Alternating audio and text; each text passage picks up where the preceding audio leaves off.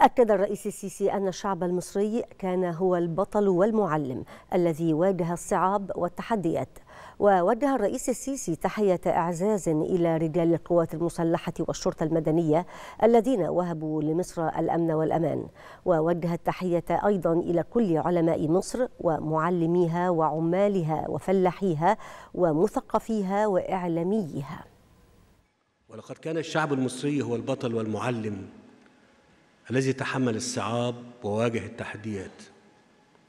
لذا فإنني أوجه كل تقدير وامتنان لكل أم مصرية وزوجة وابنة قدمت الأب والأخ والزوج والابن شهيدا كي تهب لنا الأمان الأمان والوطن.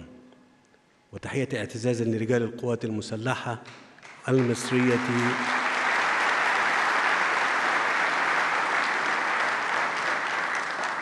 وتحية اعتزاز لرجال القوات المسلحة والشرطة المدنية الذين وهبوا لمصر الأمن والأمان وتحية لكل علماء مصر ومعلميها وعمالها وفلاحيها ومثقفيها وإعلاميها كل في موقعه كان بطلا من أبطال هذا العقد الفريد